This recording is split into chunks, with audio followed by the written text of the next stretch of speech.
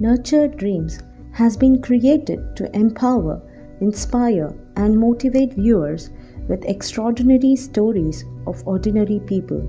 Come, join us to unfold the path breaking journey and watch how cherished dreams transform lives. But then when I go and teach in, uh, say, for example, Harvard University or Harvard Business School in US, what I do for 15 days in IIM Kolkata, I completed one, one, one week. The reason is I have sent information beforehand. Study material, PowerPoint, everything I sent. I don't start with point number one and first slide, not necessary. How do I start? Any questions? Okay, second slide, third point. That means they have already read the first point. Any doubts they can ask? Go to second slide. So you can complete faster and they've learned. I don't have to teach, they have learned. Difference is that they learn and we teach. Can, uh, hmm. can that be included in Indian uh, curriculum or it is it happening already? Uh, some schools are doing it. Some schools are doing very well, I should say. They are including activities, projects, and all that. They're doing quite well. But now, this new policy that is coming up, new education policy, NEP 1920, uh, that has got some very positive strokes. They are also expecting the teachers to uh, prepare well and do a lot of activities so that it doesn't become only rote learning. The NEP is doing good job. I think that will happen. That will happen. Sir, you have uh, had the uh, enjoyment of freedom given by your parents to choose what you wanted to do. So, yeah. do you feel is it good or not good, sir? What, in your experience, what would you say? A very good question. Giving freedom is good, but you require guidance also. You let him choose whatever he wants. That's not fair. That's not Where fair. do you give a, a checkpoint for parents? Like us, we are young, we don't know what to, where to keep the checkpoint. Uh, Best, very good thing is observe the child very carefully. Allow the child to experiment new experiences. Don't force them. We don't allow. There's a problem with us is we don't allow them to. Don't do, oh, no, no, no, no. I know it will fail.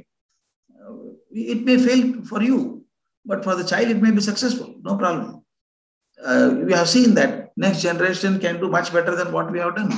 So therefore, give them chance. Even if they fail also doesn't matter. Failure is also a good lesson in life. Because we protect our children so cautiously, we don't want them to fail. We, we think that failure is a stigma. We think fa- failure is not a stigma. Is not a stigma. Why should failure be a stigma?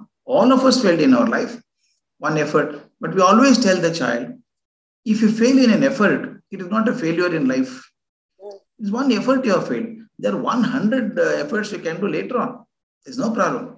So therefore, we don't allow. In fact, Kalam used to tell beautifully, don't read success stories. They only give messages. Read failure stories. They give lessons of life. Lessons of life. Similarly, the young parents always tell them, for example, I'll give you uh, about three, four years ago when I was in the US, I was uh, listening to an interview of a Nobel laureate on television and told he was a very creative scientist. I didn't know much about him till I watched him on the television. And the young lady who was interviewing him asked him, Sir, you are very creative. How did you get this creative idea? Who taught you?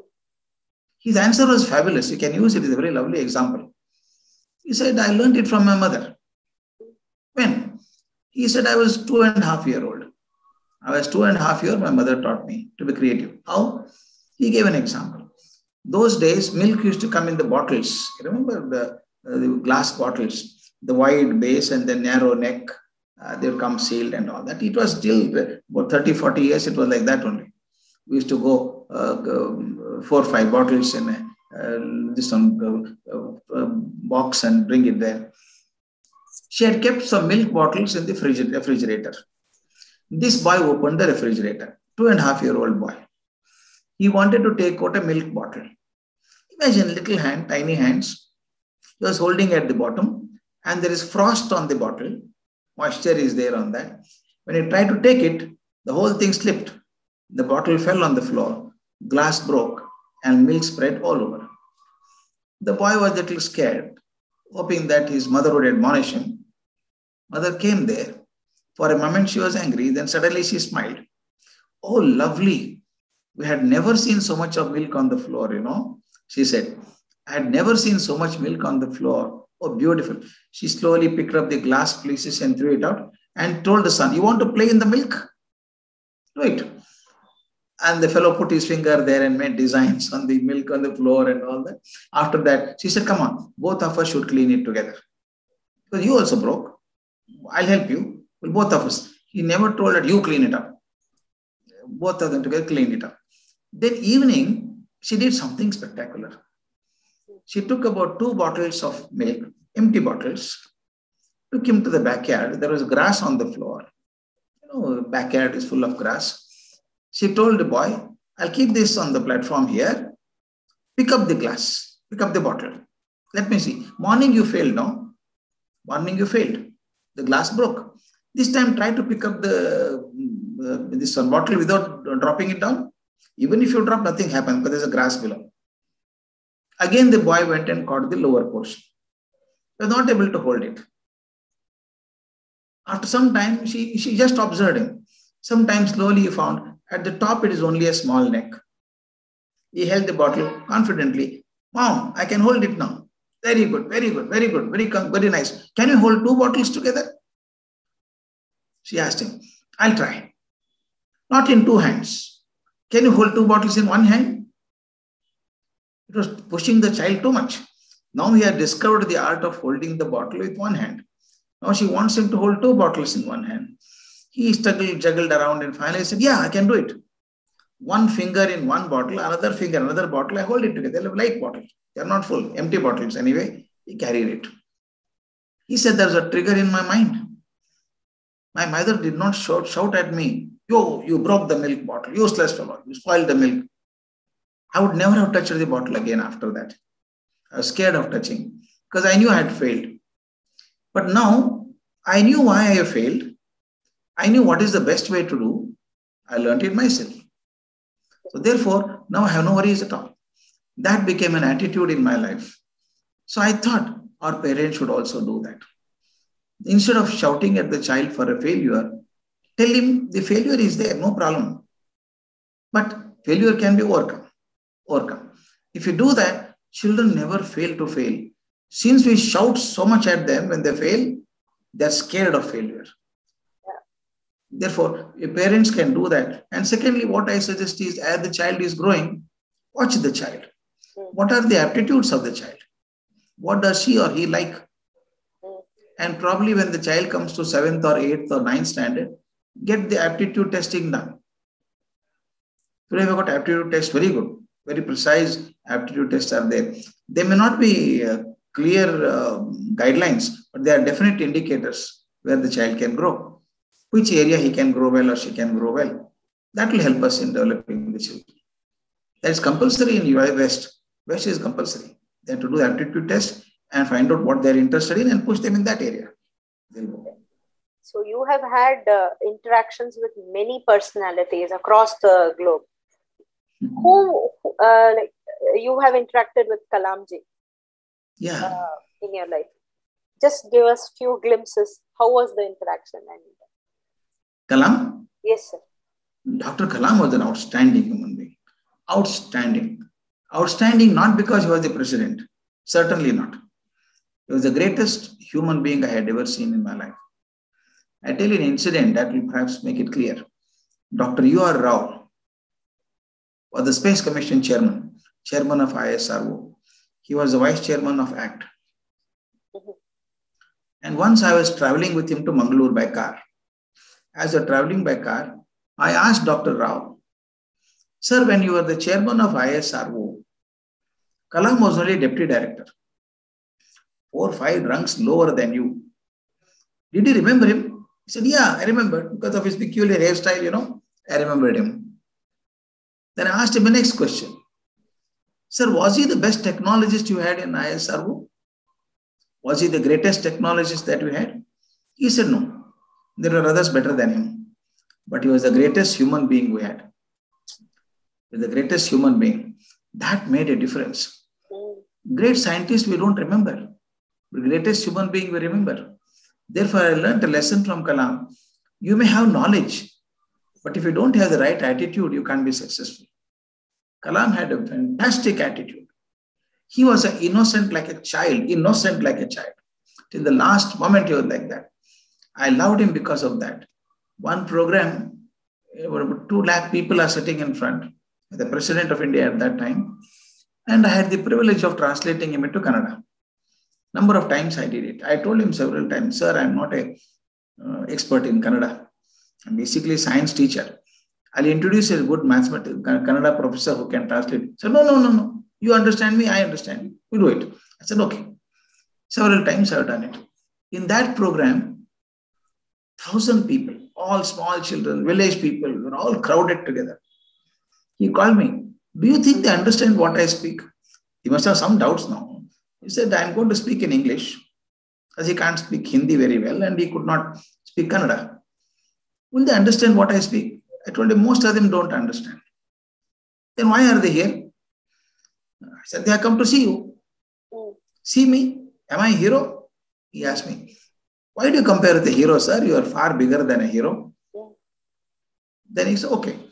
And now keep visualize. I was uh, standing next to his podium and his style was different. difficult to translate Kalam. Uh, not a very organized man. He was basically imaginary, a very, I would say, uh, very imaginative mind. He would go on speaking for six, seven minutes and then stop and say, Yes, I should remember all that in zip form and translate into Kannada. I'm since I'm used to it, I could do it. And when he spoke for about six, seven minutes, I required at least three, four minutes to translate into Kannada. As I was doing it, people were appreciating, they were clapping, they were following what I was saying. At one point, he was standing like this on the rostrum, watching me, standing next to him. I finished my translation. I moved the mic away in my hand and told him, Sir, I'm through. You can start. He did not start. I thought he did not hear it. I said a little loudly, Sir, I'm through. You can start. I was conscious, but he was not. I was conscious that all cameras were on us. Doordarshan recording, all India radio recording was all that going on. Because President of India program like that, all cameras are glued on us. I just said, Sir, I'm through, you can start. He did not start. I shook his hand. Sir, you can start. You know what he did? He was completely oblivious of the fact that he was the president of India. So many people were watching him. So many channels are recording him. He did not bother about it. You know what he did like a typical child? He smiled broadly and said, What lovely translation I say. Even I understood Kannada. and again, everybody started clapping. And after the talk was over, normally all presidents are straight jacket. They go, talk, and again go back to the chair. He was not like that. He finished his talk, came out of the podium. Give me another mic, give me another mic. He took a mic and then announced, All of you understood my talk because of Dr. K. You call me Dr. K. All of him because of Dr. K. Clap for him. And handed over the mic. They all clapped. You know what he did? In the stage, he came and hugged me. Hugged me. While going back to his chair, I told him, Sir, you asked me a question earlier. Why people come to see you? The answer is very simple. It is so easy to remain ignorant throughout life, but impossible to remain innocent. You have remained innocent like a child. That innocence of Kalam was extraordinary quality of him. Extraordinary quality. I never seen a person as simple, as childlike like him. Absolutely childlike. In fact, there's a very famous joke about him. As the president, you know, when president comes, security is very tight. There'll be ambulances, cars, pilot cars, 15, 20 cars. The motorcade will go to the city, zooming past the city. Suddenly, Kalam shouted, Stop, stop, stop, stop. they were all scared. Why is he asking stop? What, sir? What is the problem, sir? Secretary said, Sharvan Bhavan. Sharvan Bhavan. We'll have Idli there. Sharvan Bhavan Idli. And they said, Sir, we can't stop like that. I'll bring Idli of Bhavan to your house only. I'll bring it there. That innocence, you know, no eh, mask at all. Absolutely no mask. Another, thing I would say, is a gift of God. Is a gift of God to India very innocent. Or God lies in such people. Only God created people like that. Wonderful. I tell you, I have seen so many people in different walks of life. I'm yet to see a person as transparently honest and innocent like him. One last memory of him was very interesting. I went to him because I had brought out some CDs on creativity and creative teaching and all that. He told me, bring it to me. I went to Delhi and he was staying in number 10 Rajaji Road in Delhi. Because he retired as the president, he was the given a separate accommodation. I went there, he talked to me for about hour and a half, more than hour and a half. Then as I was leaving, I had a style. I touched his feet and said, Sir, I take leave of you. Uh, he told me, No photograph? I don't know what photograph he's asking. Which photograph, sir? Don't want to photo photograph with me? Actually, I felt so ashamed. Actually, I should ask him. So, shall I have a photograph with you? But this man is asking, no photograph with me? I felt so small. Sir, I have not brought the camera. Sir, don't worry. Sharmaji, Sharmaji, his secretary, come here, take a photograph. If my best friend come from Bangalore, take a photograph. I stood next to him and he took two, three photographs. Sharmaji, aaj hi bhej dena. Send today only. Photograph, send them today only. And next day morning at 7 o'clock, Sharma telephoned to me. Did you see the photographs? I said, I have not seen. See, Baba, he's already asked me three times, have you sent the photographs or not? That kind of love. He taking my photograph and asking him to send a photograph to me. Unfortunately, that remains my last photograph with him.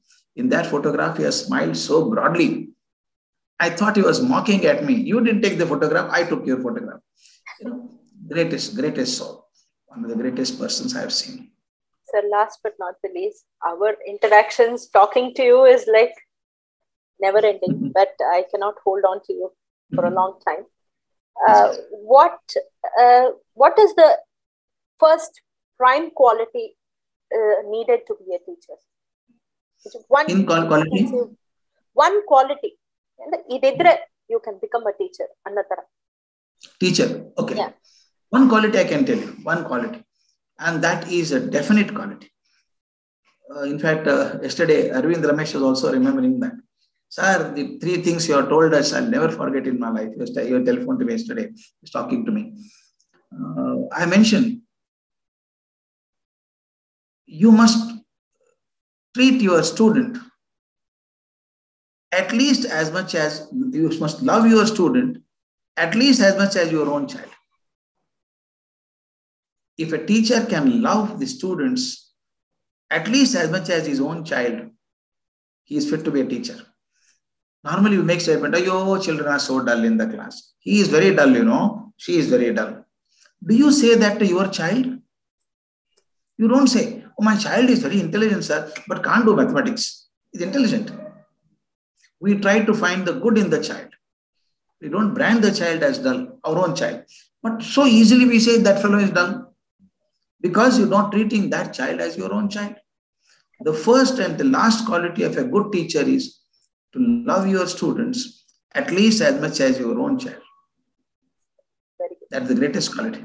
What would you advise our younger generation people to, you know, success mantra? I tell you three things, man. If they have three things, I'm really proud of this younger generation. One is have self confidence. Never fear inferior. You are not inferior to anybody because there has never been a person like you in the world you are the unique creation of God. God has taken so much pains to make you so different from everybody. There are 700 crore people on earth. Nobody like you. Nobody like me. Has created. So therefore, be proud that you are a wonder of the world. Wonder of the world. Have self-esteem first. Secondly, love your culture. Don't run away from your culture. It's a magnificent culture that we inherited. Enjoy it learn it, nurture it, and develop it. And the last is love your country. Love your country. Love yourself, love your culture, love your country. If you do that, you are the greatest son of India, greatest daughter of India. Yeah, thank you very much, sir. Thank you thank for you, your man. time and uh, giving you. us so much of knowledge just by listening to you.